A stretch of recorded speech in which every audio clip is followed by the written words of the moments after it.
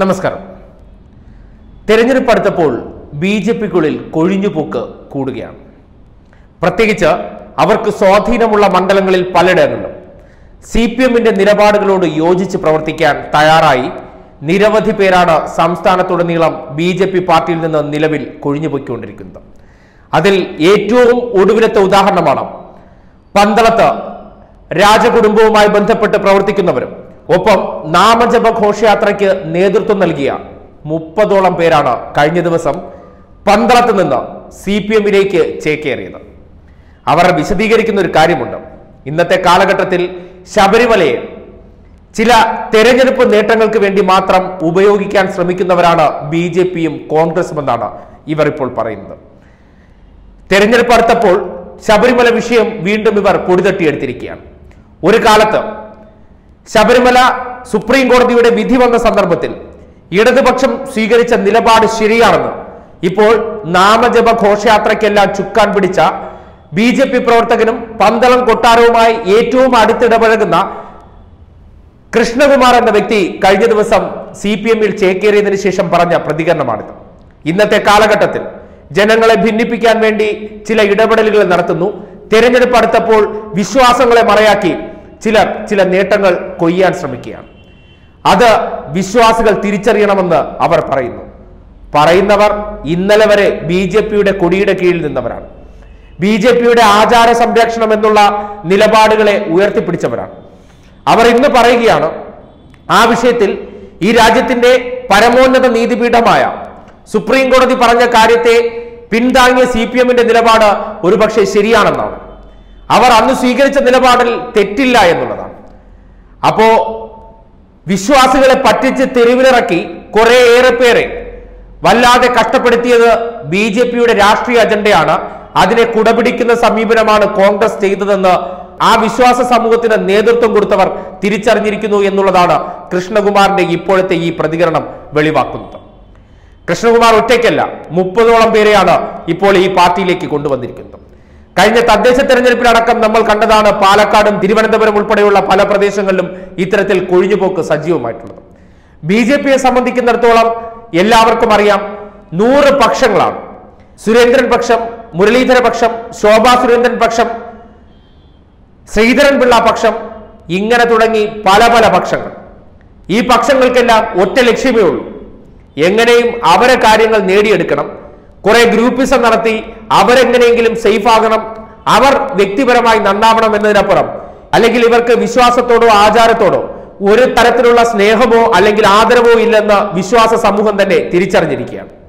അല്ലെങ്കിൽ ശബരിമല വിധിയുമായി ബന്ധപ്പെട്ട് ഇവർ നടത്തിയ പ്രവർത്തനങ്ങളൊന്ന് പരിശോധിച്ചാൽ മതി. ഈ വിധിക്ക് വേണ്ടി അല്ലെങ്കിൽ വിധി വരുന്നതിന് മുന്നോടിയായിട്ടോ അല്ലെങ്കിൽ വിധി വന്നതിന് ശേഷമോ ഇവർ നടത്തിയ ഇടപെടലുകൾ ഒന്ന് പരിശോധിച്ചാൽ ഇവരെല്ലാം കൈയും കെട്ടി നോക്കി നിന്ന് മുട്ടനാടുകളെ തമ്മിൽ കൂട്ടിയിടിപ്പിച്ചതിന് ശേഷം അതായത് സർക്കാർ എന്ന ഒരു വിഭാഗത്തെയും വിശ്വാസികൾ എന്ന വിഭാഗത്തെയും കൂട്ടിയിടിപ്പിക്കാൻ ഇവർ നേതൃത്വം നൽകി അതിലൂടെ എന്തൊക്കെ ലാഭം കിട്ടിയോ അതെല്ലാം നേട്ടം കൊയ്തവരാണ് ഇവരെന്ന് വിശ്വാസ സമൂഹം തിരിച്ചറിഞ്ഞിരിക്കുകയാണ്.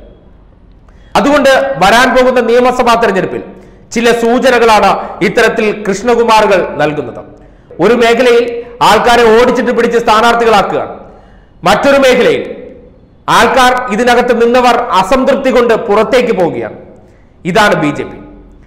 B J P ഇപ്പോൾ തദ്ദേശ തെരഞ്ഞെടുപ്പ് കഴിഞ്ഞപ്പോൾ അധികാരം പിടിച്ച ഒരു മുനിസിപ്പാലിറ്റിയാണ് പന്തളം മുനിസിപ്പാലിറ്റി. ചരിത്രത്തിൽ ആദ്യമാണ്. ആ പന്തളം മുനിസിപ്പാലിറ്റിയിൽ ബി ജെ പിക്ക് വോട്ട് പിടിക്കാൻ വേണ്ടി അക്ഷീണം പ്രയത്നിച്ചവർ പാർട്ടി വിട്ടു പോയപ്പോൾ അവർ പറയുകയാണ് പോയവരാരും ബി ജെ പിയുമായി ഒരു ബന്ധവുമില്ലാത്തവരാണ്. ഈ കൃഷ്ണകുമാർ പറയുന്നുണ്ട് പന്തളം കുടുംബത്തിന് ഇടതുപക്ഷത്തോടാണ് താല്പര്യം. പന്തളം കുടുംബാംഗങ്ങളുമായും. പന്തളം രാജകുടുംബങ്ങളിലെ ഇപ്പോഴത്തെ അനന്തരാവകാശിയായ ശശീന്ദ്രവർമ്മയുമായിട്ടൊക്കെ അടുത്ത ബന്ധം പുലർത്തുന്ന കൃഷ്ണകുമാർ ഇവരുമായെല്ലാം ചർച്ച നടത്തിയ ശേഷം മാധ്യമങ്ങളോട് പറയുകയാണ്. ഇടതുപക്ഷത്തോടാണ് വിശ്വാസ സമൂഹത്തിനും പന്തളം കൊട്ടാരത്തിനും ഏറ്റവും കൂടുതൽ താല്പര്യമെന്ന് പറയുന്നത്. അതായത് വിശ്വാസികളെ പറ്റിച്ച് ജീവിക്കുന്നവരാണ് ബി ജെ പിയും അല്ലെങ്കിൽ കോൺഗ്രസും എന്നുള്ള ആക്ഷേപമാണ് അദ്ദേഹം ഉന്നയിക്കുന്നത്. ഈ നാട്ടിൽ ഒരുപാട് പ്രശ്നങ്ങൾ നീറി നിൽക്കുമ്പോൾ ജനങ്ങളുടെ ജീവിത സാഹചര്യങ്ങൾ എങ്ങനെ മെച്ചപ്പെടുത്താമെന്ന് ആലോചിക്കാതെ അല്ലെങ്കിൽ ജനങ്ങൾ ഈ കാലഘട്ടത്തിൽ ബുദ്ധിമുട്ടുമ്പോൾ അവരുടെ പ്രശ്നങ്ങൾ പരിഹരിക്കാൻ വേണ്ട ഇടപെടലുകൾ നടത്താതെ വിശ്വാസികളെയും ഒപ്പം ആചാരങ്ങളെയും മറയാക്കി അധികാര നേട്ടത്തിന് ഒരുങ്ങുന്നവർക്കുള്ള മറുപടിയാണ് തങ്ങളുടെ പടിയിറക്കമെന്നാണ് ഇവർ പറഞ്ഞു വെക്കുന്നത്.